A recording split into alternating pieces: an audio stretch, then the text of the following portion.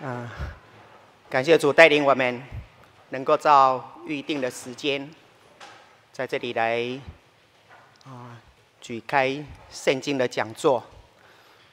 嗯，大概半年前啊，总会的陈仁道长老在这里帮我们来讲解出埃及记，啊，整个都结束。啊，当结束以后啊，我们台北教会的。黄光阳只是问我，啊，要不要在这里也跟大家分享啊遇见圣经？我后来回去想一想，啊，那啊，我后来跟他说，那我来跟大家一起来查考约书亚记。当时会考虑约书亚记，是因为我自己本身啊非常喜欢约书亚记，而且我觉得里面很多的道理。非常适合我们今天的啊信徒啊。事后我才回想，哎，很奇妙，神的安排。出埃及记讲完，哎，如果以出埃及记的内容，就是以色列百姓离开埃及，但是光是离开埃及还不够。如果我们把一个信仰的历程分成两阶段，你离开罪恶之地。但是你总要有一个目标，有一个归属。所以在出埃及记所描写的是他们离开埃及，后来进到旷野，在旷野绕行了四十年，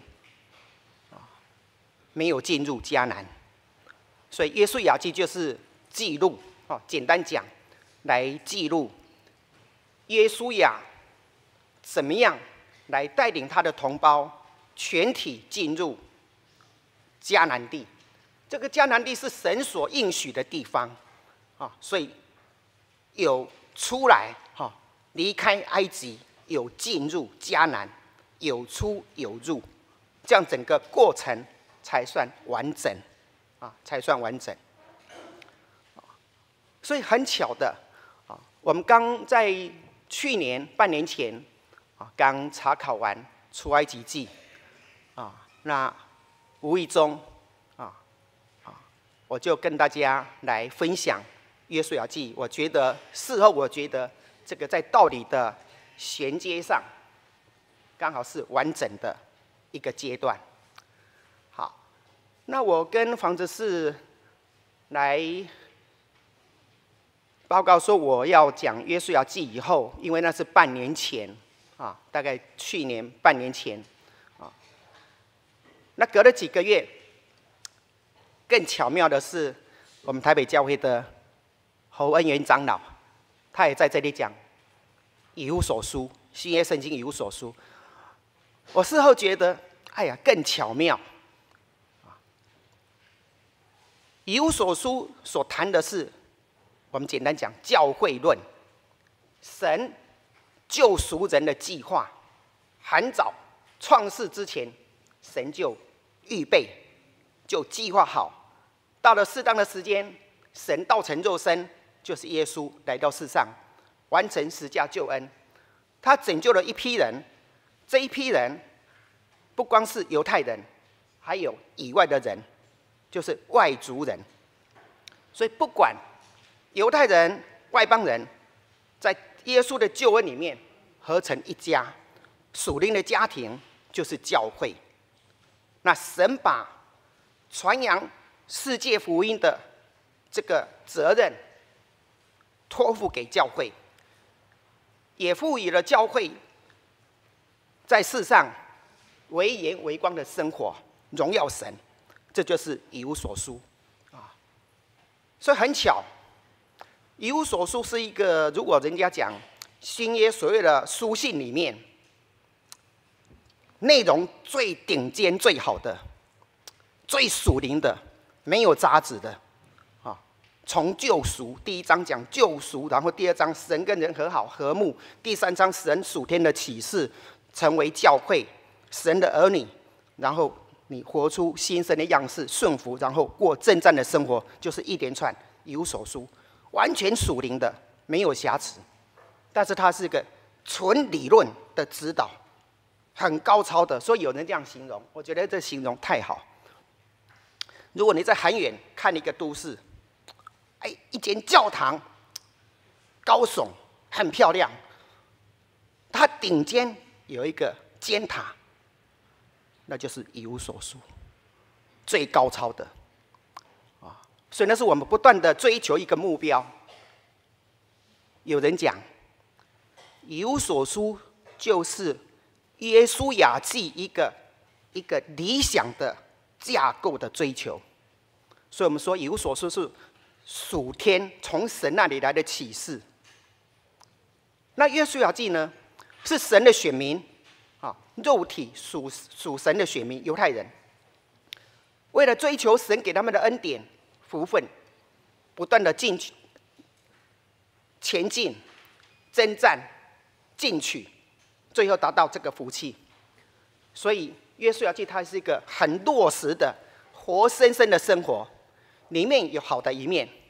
啊，我们看到以色列人为了追求神给他们的美好的福分、应许地，他们在那个过程不断的挣扎，有提升，有沉沦，有成功，有失败。嘿活生生的例子，好，我们看一下一节圣经，我的讲义里面有写哈，嗯，罗马书十五章，啊，看罗马书十五章，啊，第四节新约圣经两百二十五页，两百二十五页，罗马书十五章第四节，从前所写的圣经。都是为教训我们写的，叫我们因为圣经所生的忍耐和安慰，可以得着盼望。从前所写的圣经，都是为我们写的。过去的圣经，有些是历史史实的记录，有些是神的话，有些有他当时代的背景，啊。那有人想，我们现在已经超过。公元两千年以后了，再看那个老掉牙的道理有用吗？人性不变，啊，在神眼中看啊，只有罪人啊跟被救赎的人，所以人性永远不变。圣经里面很多旧约的历史，有人才有历史啦，啊，所以讲历史必定谈到人，人的成功失败，人的过程，啊，所以。这里说，从前写的圣经，对我们后代的人，如果你懂得取舍，懂得从这些圣经里面这些道理得到一种反思，对你有帮助。所以，对我们啊，你不管在任何的情况遭遇到苦难，遭遇到失望、考验。你都可以从这些圣经道理里面得到造就，最后你还是有一个盼望，不失掉盼望。哦，这是罗马书所告诉我们的。哦，所以我们虽然谈一些就业的历史的题材，啊，我想我一个基本的重点，不止在探讨这些历史的事实啦，我比较没有花时间在那个历史时间事情的考证，或者原文单字的对错怎么解释。好，我我只是一个大的方向，它的走向，还有我们今天的取舍。所以有有一个传道人，他专门不是我们教会的啊，有个啊颇负盛名的传道人，他研究约书亚记，他定一个一本书名《大时代的征战》，大时代用大角度，从神的角度来看选民在世界的生活的形态。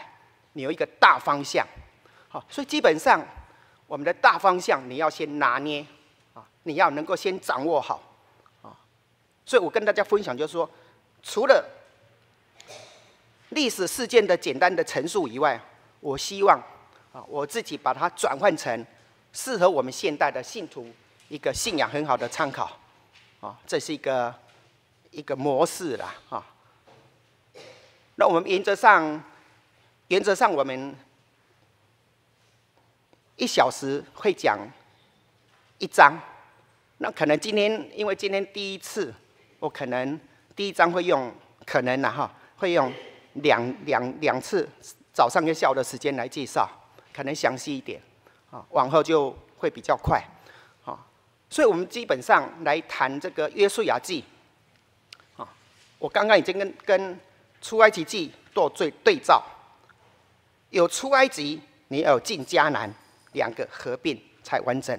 对我们来讲，你今天受洗归入基督，你是脱离魔鬼的控制，虽然已经归属主，但是我们现在还没有完全进到那个神国的实现嘛，哦，还没有完全进到神的国的那个永享安息，我们还是在这一段过程。所以有人讲，我们今天在世上的生活，就像当时以色列百姓的旷野，虽然脱离埃及，在旷野，虽然有神，也有得到恩典。但是你没有，还没有完全舍弃世上的那些愁苦啦、考验啦、重担，还有很多考验啊。所以最最终的目标，神国实现、永享安息，那是最终的啊。那我们目前还没有达到最终终点之前，我们这个过程也可以，所以它可以当做一种不断的前进的信仰的带领。所以有人讲约书亚记哈，如果我们从两方面讲，对个人，个人你的信仰不断的成长，啊，不断的长进，你要不断的空间呢，啊，啊，信仰是一辈子的事情，啊，你一辈子聚会听道理学道理，但是你的灵性要长进，不断的成长，所以要不断的有空间，你有很大的空间，对教会整体。它是不断的前进，不断的的兴旺，啊，不断的完成它的的使命，啊，所以我们可以在约书亚记本身可以看到两个路线，一个是整体的，全体以色列人达到神的所定的目标，这是用整体，所以对我们来讲，教会整体如何发展圣功，这是一个基本的立场。那对个人，就看到他你个人怎么成长。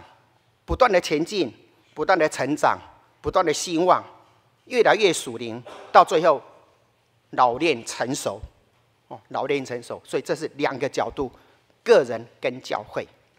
好，我们记得耶稣讲过一句话，这一节我好像没有在在讲里面写。你们你们如果愿意的话，就可以补马太福音十一章十二节。耶稣讲，天国是努力进入的，努力才能够进入。啊天国是努力进入的，好，这个我我讲给你没有写啊，没有写。啊，你们可以补充一下，经节写一下，我们就不翻了。啊。好，那我们再看另外一节。啊，希伯来书。啊，希伯来书第四章，希伯来书看第四章，新约圣经，十一节。希伯来书四章十一节，新约三百十五页，三百十五页，在这一段，作者他讲一段道理，他是引申到啊，从耶稣亚他们进迦南这一段过程来做一个结论引申。耶稣亚他们这些以色列人，他们得的是地面上的迦南地，属地的属世的。但是那也是神所应许给他们一个地方。那我们今天呢？我们讲属灵的，透过那个属地的来做一个预表。我们今天信耶稣，我们要得到神属灵给我们的福气啊！你今天得到没有？你尝到天恩的滋味了。按照希希伯来书讲着，你尝到天恩的滋味，但是你是不是完全安息呢？没有忧愁呢？未必，所以十一节讲啊，所以我们务必竭力进入那安息，免得有人学那不信从的样子跌倒了。务必竭入啊，竭力进入啊。所以他讲，这个作者讲，耶稣也要带以色列人进迦南地，是得到地面属世的那个土地。从那里来引申，啊，真正安息是在基督里，所以我们今天要追求是真正永远的安息。那我们今天还没有，还没有完全达到，啊，所以你要达到那个至终最终的目标，你今天要继续努力。虽然你信主，啊，受洗，可能十年、二十年、五十五十年、六十年，嘿，你还没达到那个真正最后的那个目标，所以我们做着勉励，务必哈，务必千万要 竭力进入，努力追求。这跟耶稣讲的一样，啊，天国是努力进入的，好，所以基本上，哎，我们在讲那个《耶稣雅记》开始之前，我们就做一个简单的前面的介绍，他的基本立场是这样。那我的讲义第一行，第一行有一个参考的题旨，它的意思就是说这一卷圣经的一个中心内容或者中心思想，你要把它当做题目也可以。我取舍了几个。啊，我取舍几个。啊，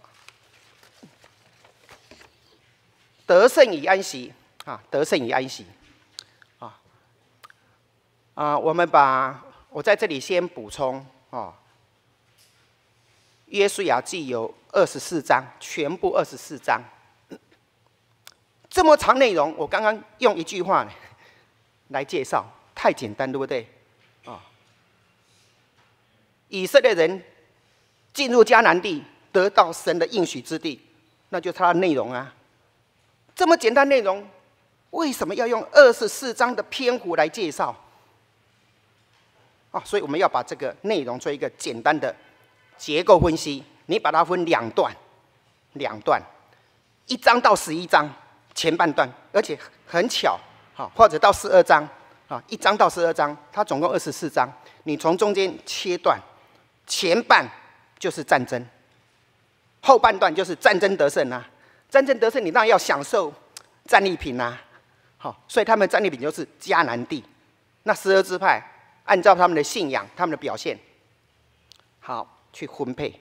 所以后半段就是分配土地、分配产业，享受安息。所以两个连贯，前半段是战争战争的记录，后半段就是安息。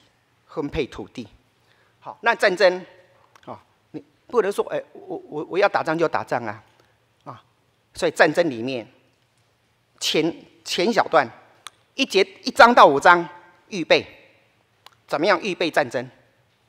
各方面的预备，一章到五章预备，第六章真正开打，啊，到十一章全部结束，十二章就是那个。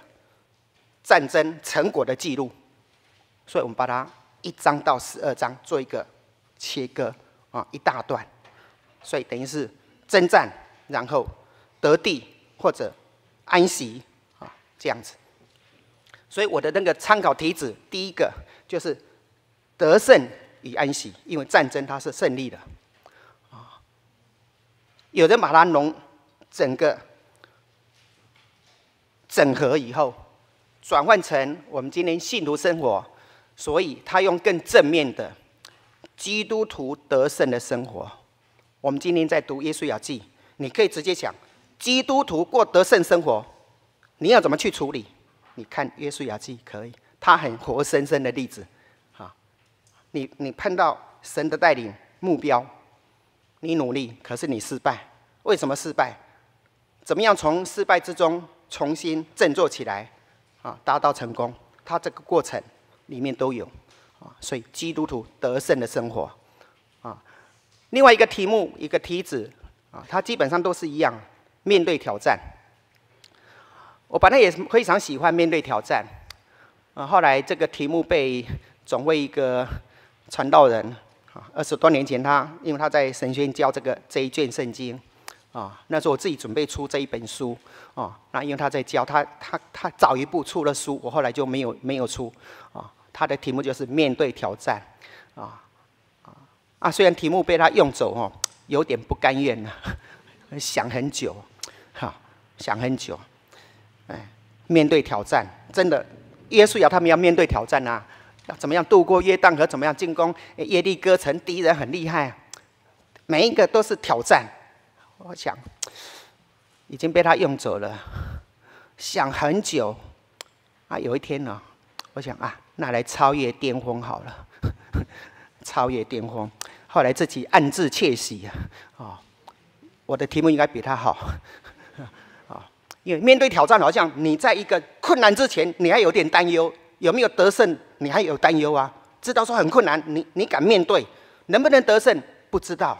那你超越巅峰，你已经跨越了，你得胜了，啊，我们在说人在世上还有成就，最高的成就不是巅峰吗？哦你超越巅峰，你要哎百尺竿头更进一步，很难呢。你说好一百公尺跑十秒，你要突破很难。好，你突破了九秒九，九秒八，九秒，每进阶零点一都很难呢。越高越高层级，你要突破越难。啊，那哎，我后来想超越巅峰，不只是超越困难，也超越自己。因为啊，因为在这个我们在耶稣要集里面呢，你看几个困难点，以当时以色列的状况，你要去跨越那种难度很难，除非是神帮忙，不只是跨越对方所所建立起的困难，还要跨越自己，人要超越自己很难呢。你的能力只到这里，譬如说你的能力只到八十分，今天你的表现九十分了，超过自己十分了，你相信吗？好意外，对不对？你都吓一跳，我竟然能够表现这么好，神帮助的，所以那个超越，超越对对方，也超越自己呀。结论是不是你自己的能力？对我们信徒来讲，神的能力是靠神的能力，你才能够。达到这种境界，如果你有这种概念，你懂得感恩，你就不会自夸。你碰到困难，你这有神可以依靠，我会靠神努力。当你有成就了，哎，你不会哎自高自大，你懂得谦卑啊，这一切都是神给我的，感谢神啊。所以，我们在这个，我觉得在在耶稣的记里面哦，我们学习到神帮助以外。学习到祷告，学习到开拓我们的视野。你的眼光所看的不是很狭窄，对事情看很大格局，看自己。所以我们在第一章会谈到对自己的认知，啊啊啊！因为他这这一卷圣经是一个有关战争的记录，啊，有关战争的记录。好，我们我们借用我们平常形容战争。地面上世上战争的的形容，知己知彼，对不对？好，我们借用那个形容，知己知彼。第一章就是知己了。约书亚他要带领，首先他要了解我目前的状况，还有我同胞整体的状况，我的条件有没有办法去去克服那个困难？第二章他要了解，所以他派探子窥探啊耶利哥城。窥探就是收集资讯、收集情报、了解对方对方的状况怎么样啊？所以知彼，所以两章可以连贯，知己知彼。我们今天来讲，人生处处都是征战啊！从小学，甚至从更早幼稚园，你要进入明星学校，竞争很厉害呢。好，然后哎一路上来受教育啊，我们从以前。啊国中、高中、大学联考一路上来，啊，研究所到你毕业到到就业，越好的工作竞争越厉害，那都是征战，啊，只不过不是世上那种战争，但是它是人生的各种形态的征战。所以，当我们读耶稣要记的时候，你可以把那个转换成我们的人生的，你不断迈进的会遭遇的过程，啊，因此你可以拓拓宽你的视野。你看事情，啊，看神，看自己，你会有不同的角度来看，啊，这是我们在前言所介绍的。好，我们要谈到第一章，啊，第一章，我还是一个简单的介绍。第一章啊，面对挑战，啊，我就用第一章面对挑战，因为一个新的时代出现。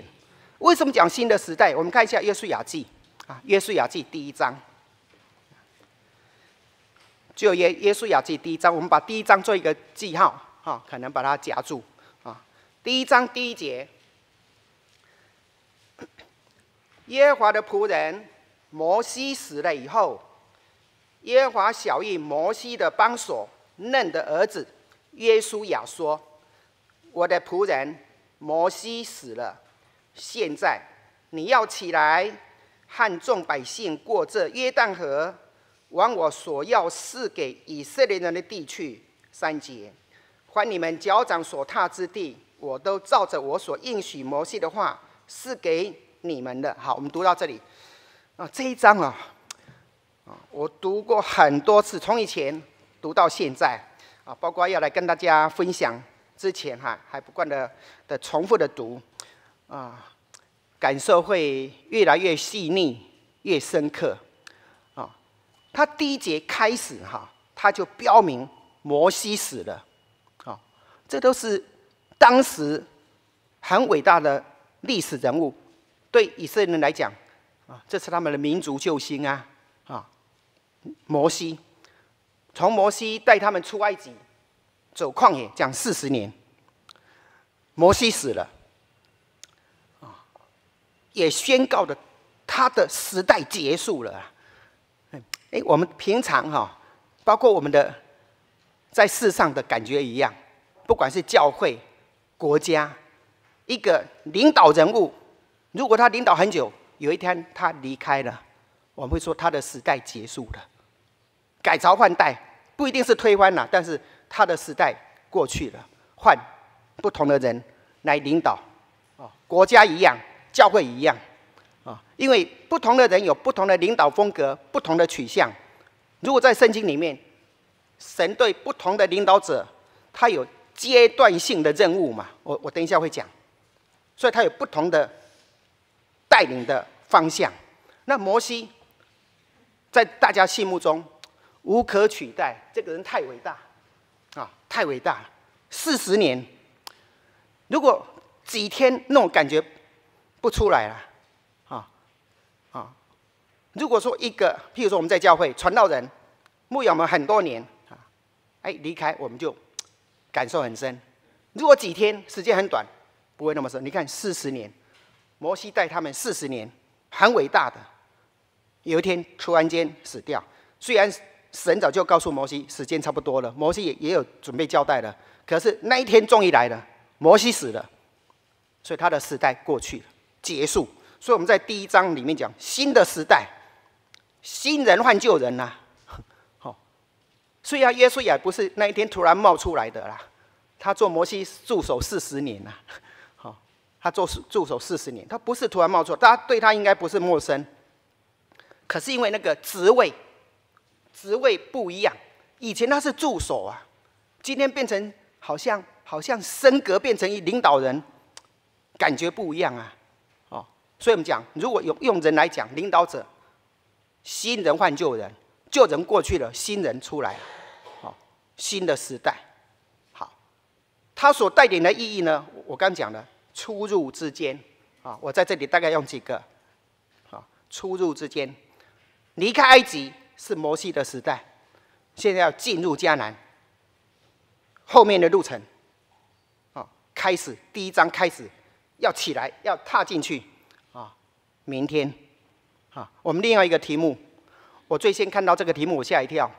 那是一个外国人啊，传道人写的一本书，他的题目讲如何掌握明天，如何让明天更好。我我我乍看之下，我吓一跳，从来没有想过，你要踏出下一步，下一步是未来，对不对？哼，明天怎么样？明天神带领，明年神带领，让你的明天更好。啊他从整个约书亚记把它转换，我们的我们都有明天，明天又明天，又明天，你往后的下半辈子，都在都要让神带领，都要更美好。如果没不让神带领呢，那就很很很匮乏，很不圆满。好，如果有神带领，有神的恩典充满在你的日子里面，很圆满的。好，所以我我也非常喜欢。嘿掌握明天，其实谁能够掌握明天？雅各书讲的啊，你可以打算我到哪个城里做买卖呀？谁知道明天怎么样？啊，你可以期望，你没有把握，但是透过耶稣雅记，好像 好像我们可以依靠神，可以把未来没有把握的明天下一步好好的掌握。啊，这是另外题目，另外一个切入的观点，我觉得不错。好，所以。耶稣要带以色列人，好，要准备进迦南，就是明天开始，我们刚读了第二节，要踏进那个迦南地，有没有？我们看那个第二节、第三节、第三节，还你们脚掌所踏之地，神照应许的要赐给你们，他们还没有踏进去呢，所以讲到那个地啊，神已经要给他们，但是对以色列来讲。还没有踏进去，就是明天，明天踏了才算呢，啊，你要踏进去才算，你有走到之处才是你的，没有走到的，你空一个理想画一个大饼没有用，啊，所以我们在整个约书亚记看到神的应许，神的应许，等待这些选民去努力，啊，我们可以看到他们怎么去努力，啊，啊，所以出入之间啊。带来一个信仰的问题，用一个信仰的立场来看，意义不一样。出埃及，脱离法老王的控制，在旷野流浪，一直流浪。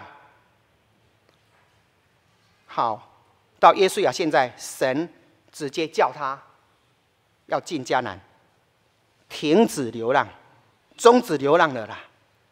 流浪是绕来绕去，好像很没有意义，顶多是训练他们的信仰。操练信心，然后惩罚那些小信的、不信的、发牢骚的，通通死在旷野啊！然后新生一代经过训练，好信仰茁壮。但是旷野不是最终的目的，那是一个过程啊！所以要终止那个过程，要进到后面啊应许之地，神的福气是是福气的地方。所以对信仰的角度，终止流浪，对他们整个。犹太人的历史来讲，啊，历我们讲历史的契机，就是哎，真正进入应许之地，进入应许之地，哎，分配产业，好，这是我们从新一代来讲的，好，透过他们这些，好，我做一个结论，旧约里面，啊，我们讲新的时代有新就有旧嘛，新旧交替，啊，新旧交替。那种时代交替交替点很重要，啊啊，所以我我我有一个例子，我我是我我讲义里面写，用台湾的社会，啊，我们如果比较年长的，我们都经历过农业社会的阶段，农农业社会，好，所以台湾的发展过程，从农业社会慢慢到中小企业工商社会，好，跳升，工商社会还蛮长的。啊在进步，哎，啊，慢慢进步那个阶段，啊，资讯，然后现在网络，一个阶段一个阶段，可能之前早期的阶段的转换点拉很时间拉很长，可能从农业到工商到资讯，那个中间的隔阂很长，那现在越来越快，因为资讯越来越进步，缩短那个距离，哈，时间越快。那圣经里面也是有啊，啊，我们那些族列祖时代就不讲了。我们如果说从耶稣耳记以后的四世时代，四世时代三四百年大约了，哈，三四百年，好，快结束了，我们就君君王时代，那个那个中间衔接点一百多年，啊，最后那个撒母耳先知出来，撒母耳也算四师啦。啊，我们我们一般在定位，他也算四师，他也是先知。撒母耳的老师是以利耶，以利九十八岁。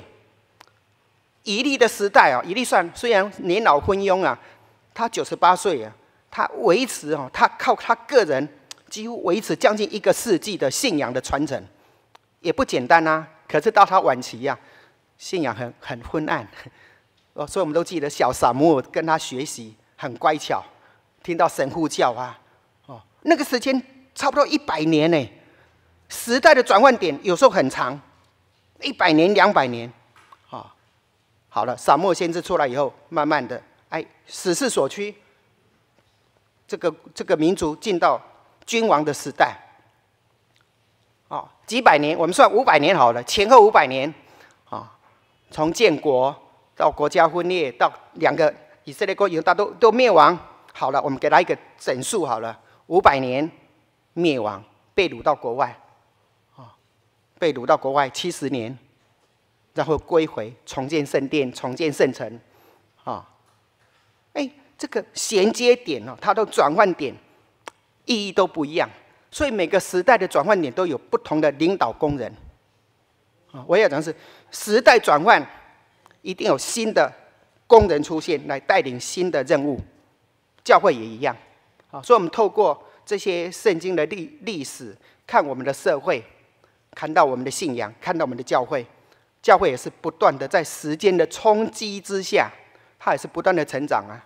但是我们会可以想象，我们光是自己，我们台北教会来看，啊，我们过去有过去的长子带领我们，啊，然后哎，一段时间肯定又换一批，他可能断断续续这样，一直换换换，哎，啊，到今天，哎，不同的时代，但是教会还是存在，啊。我大概民国八十一年啊，我那时候负担台北教四年离开啊，八十一年大概暑假的时候离开啊。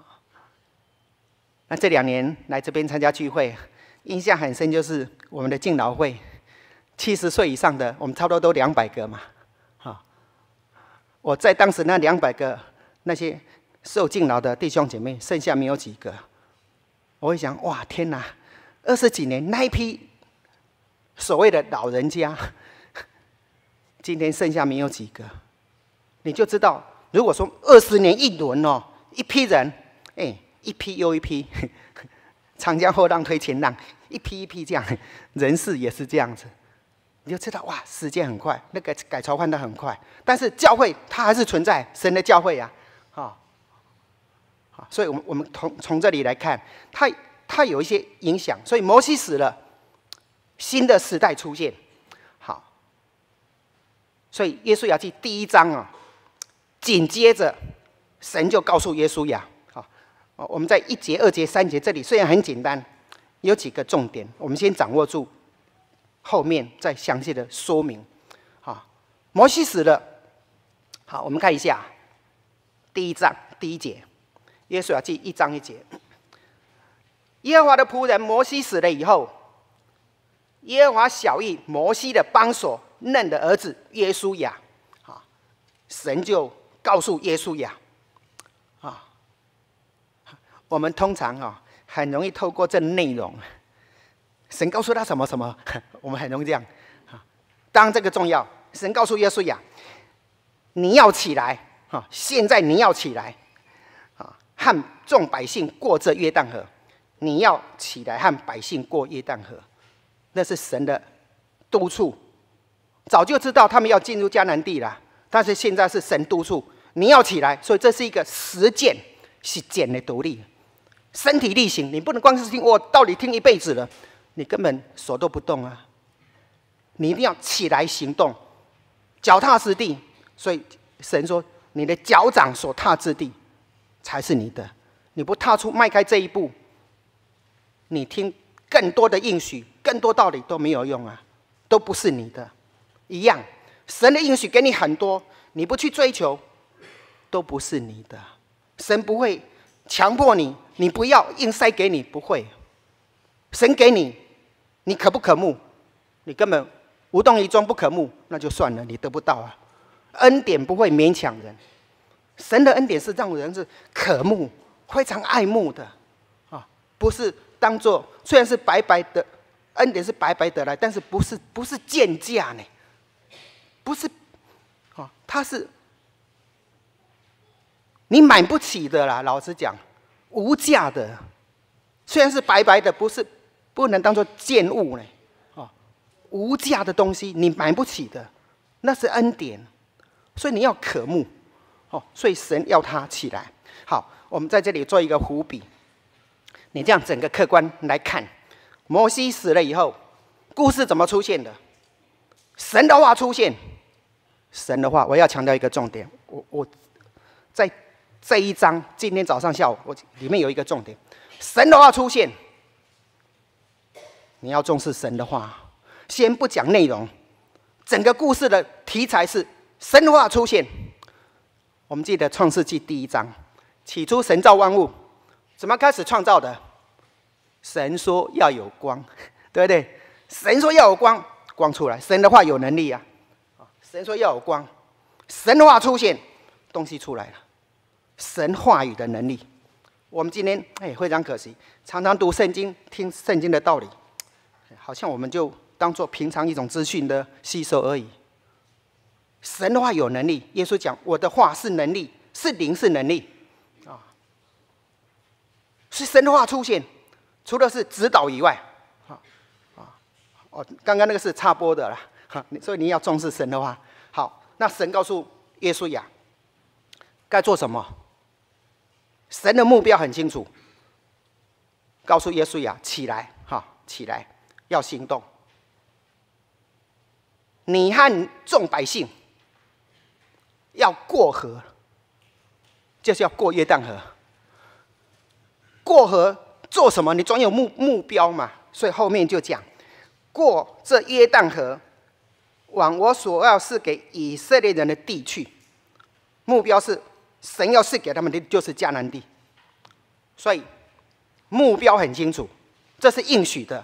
哈，这个之前在亚伯拉罕的时代，创世纪十五章，神就告诉他。那个迦南地啊，呃，应许地的范围，亚伯兰时代就应许了，到摩西的时代更清楚。现在摩西死了，神督促耶稣亚，你和众百姓起来过河去得那个地，哦，所以神的那个目标很清楚，啊，好，我这里有一个，哦，我用我的话来来。来引导下面我要分享的重点目标应许神的应许里面那个目标很清楚，不会让你模棱两可要做什么不知不知道，好目标很清楚，好像有我们今天在教会发展事工啊，我们今年度的目标啊，明年的目标，五年以后的目标在哪里？目标很清楚，在这里神的目标很清楚，目标导向，目标导向有一个目标，对教会对个人。有目标，都会比较好。对个人呢，你有一个目标，你可能一直会向这个目标不断的努力。先不管有没有达到，你总是有一个目标嘛，你一切努力向这个目标，嘿，去去付出。好，所以神的目标很清楚。好，目标出来了，你看神啊，我在我们的讲义的第二页，你可以翻开看第二页。我把它用一个最简单的图案，我怕说太简单，大家。大家搞不清楚我在我在干嘛，所以我后来啊那个简单的图图示啊箭头，神命令要前进过过河，中间约旦河，左边是迦南地，迦南地是目标啊，起来过河，河是我那个河下面有一个挂号，阻碍，阻碍。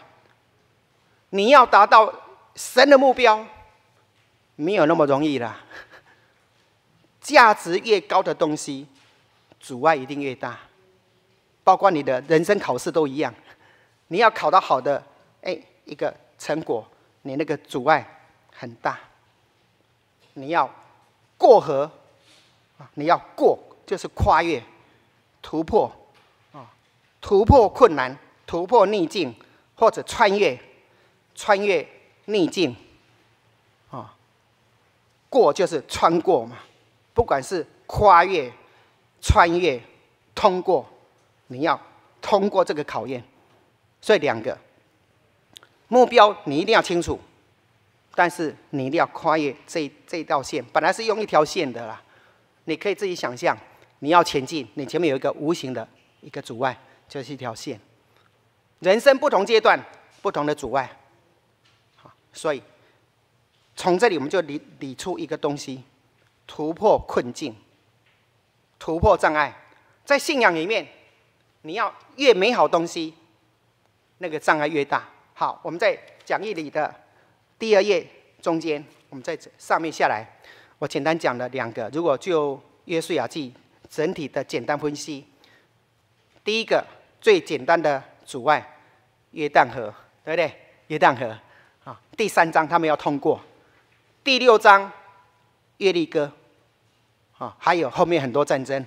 我们用两个最典型代表的约旦河，约旦河不是人制造出来，所以我说它是天然的环境，天然环境的限制。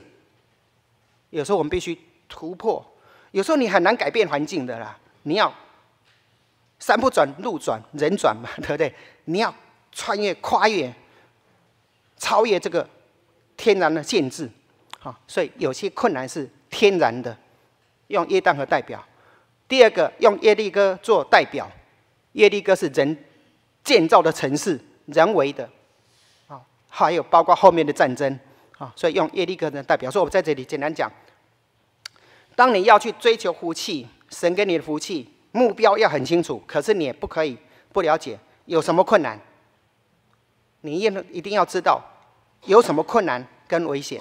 好，再来，目标清楚，只是进迦南地啊！我觉得神哈太慈爱，他不会给你含含糊糊的，他给你很清楚的。所以，哎，那个迦南地的范围哈，我想跟大家分享。我这样读这一段圣经啊，当传到很久很久啊，我差不多到到一两年前哦，好像才恍然大悟。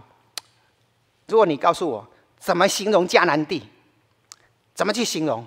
最简单的，而且很容易记住的。我好像到一两年前哈，这才恍然大悟的。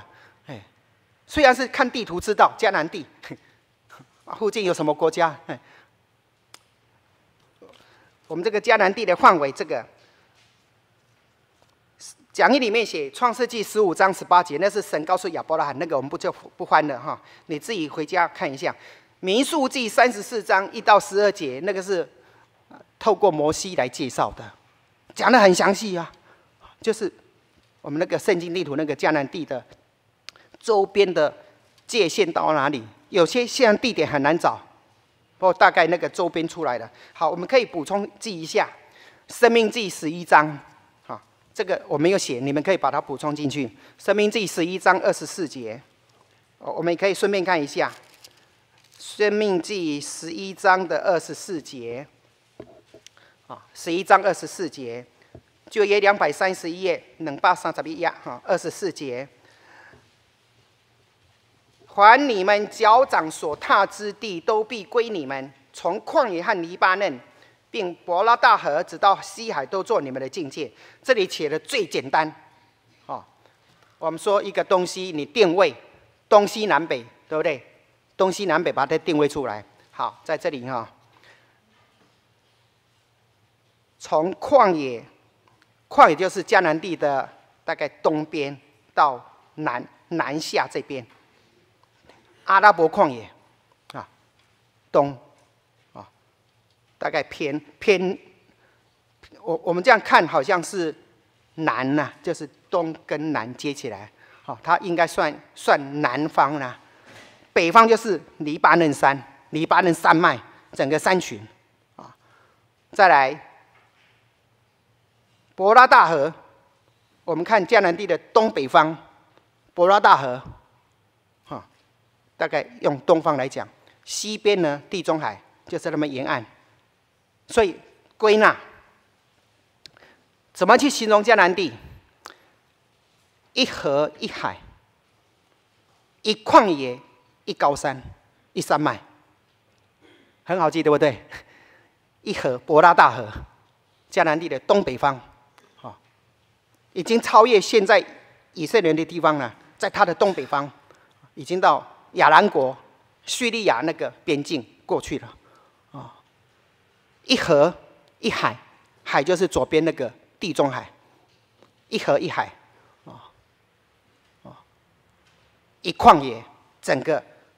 东南方整个一大片，把它归纳旷野，北方就是黎巴嫩山，基本上定位出来，啊，小细节可能什么地点、什么地点、什么边界，那很很很很难记住了，好，所以你如果用这个基本的架构来看，啊，这范围很大，黎巴嫩山，如果以后来耶稣亚他们以色列人他们所得到的地方，哦，他们没有没有达到那么远的地方，北方没有。东东北方那边根本没有，只有哈，在所罗门的时代最强盛，国家最强盛，周边国家都被他打败，才勉强达到神那个应许的地方哎。我要讲这个就是说哈，神应许很大，神给你的福气要很多很多给你，就我人哦，苟且偷安呐。征战得胜的一部分了，好了啦，可以了啦，可以享受了。后面还一大块等待你去去开拓的啊，算了啦，够累了啦，就放弃了。所以神应许给你很多，你如果不尽力的话，那些福气你还是得不到，看你努力多少。好，所以如果我们用比较不好来形容，神给他们那那么大的应许。他们还是不够努力，不够努力。神要给他很多啊，就他们得的还是有限。今天是不是对我们来讲，有时候也一样啊？神要给我们很多啊，有时候我们自己固步自封啊，可以的啦，这样不错了啦，事工做到这样已经很好了啦，还要还要苛求怎么样呢？不错了，自我满足，就后面都都亏欠。好，我们看一节圣经《会利比书》。《腓立比书》第三章，信耶的这一节很好，《腓立比书》啊，《腓立比书》三章十二节，《腓立比书》三章十二节，新约两百八十页啊，两百八十页十二节。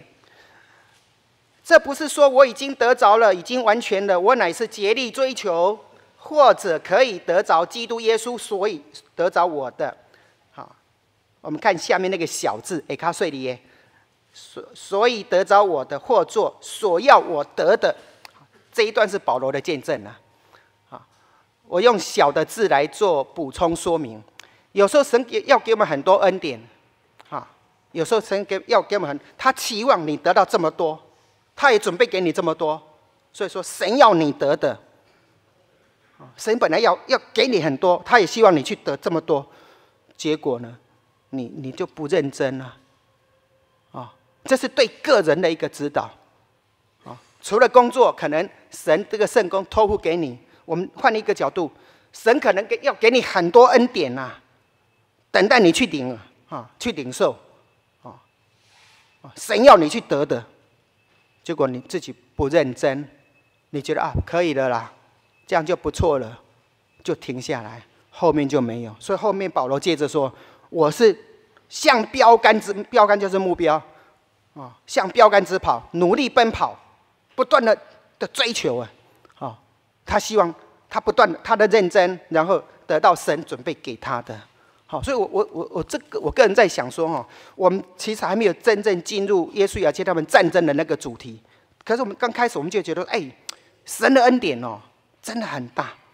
啊，他们要走的路，就告诉他们了，目标很清楚，有阻碍。所以要过河，要过河，你一定要过河。哎，当时是最难的。我们在第三章我们会补充，约旦河平常可能水少，水量少了，在他们后来渡河第三章渡河的时候，一月十号，啊，他们的季节可能比较接近那个早春呐，所以北方的雪，山上的雪融化，雪那个水很湍急。所以三章十四节，他他怎么形容？水涨过两岸呢？约旦河的水涨过两岸，本来可能是小小的，哈河河不会很宽。就这一次，那时候河水涨过两岸，而且很急，哦，三章十四节那里讲，从上面往下冲的水哦，急流冲下来呢。你怎么过河？又宽水又急，你怎么过河？没有船，没有桥，什么都没有，对方耶利哥城，他是耶旦河平原，没有很远的。古代的战争呢，人家要打击你，你过河，我在这边等你。你过河到一半，打击你，充满危险啊！神竟然选那个最困难的时候，叫他们渡河呢？如果用人来想哦，要取那个天时地利人和最最好的时机，就神指定是最难的时机呢。水涨过两岸，水流很急的时候，要他们这样去去过河，而且真的是走下河去啊！祭司抬约柜走下河去，他们真的是渡河过去的。啊，那是要信心呢，所以超越人本本能呢，你要完全信服神。哦哎，所以讲故事很简单呐，好，在人最困难、最不可能的时候，神如果要你这样做，你顺服吗？你要不要顺服？啊，很难啊，除非是对神充满信心呐，啊，所以我们看，哎，他们后来真的是这样过去的，啊，所以我们刚讲，哎，那个界限啊，那一条线阻碍。有它的困难度，还有神选的时间点，也有它的难度。越难，如果能够完成跨越，越显出神的大能，还有你的信心的宝贵。好，如果太简单，显显不出神的能力，显不出神的恩典。就是越难越难。如果你你懂得会靠神，你会体会哇，神的无穷大能，神是充满慈爱啊。所以我想说，我们早上时间。差不多了啊，所以后后面的我可能下午再补充啊。那我们就先讲到这里啊，再来唱诗一百九十六首啊，赞美诗一百九十六首。